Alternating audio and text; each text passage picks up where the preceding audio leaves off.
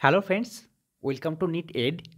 West Bengal University of Animal and Fishery Sciences থেকে একটা notice upload হয়েছে, যেখানে বলা হচ্ছে যে BVSc or bachelor of veterinary সায়েন্সের মেরিট লিস্ট যেটা দুই তারিখে পাবলিশ হওয়ার কথা ছিল, সেটা দুই তারিখে পাবলিশ হচ্ছে না। তার পরিবর্তে ওটা চার তারিখে পাবলিশ করা হবে। The merit list for admission to BVSc and H degree program for the academic session 2020 to 2021 will be published on 4 12 2020 instead of 2 12 2020